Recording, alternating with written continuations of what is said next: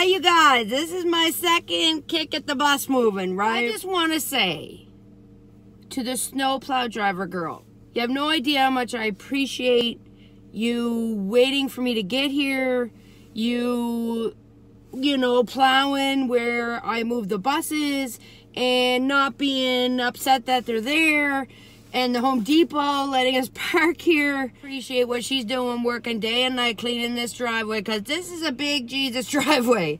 And she's doing it good. Like it's all ice and she doing it she's doing it good. It's 639 and listen, it's dark. Every day it's Jesus dark. And I don't know about you guys, but I am not good with this time of year. It's just hard not to have the sun. But we're making it. We're making it.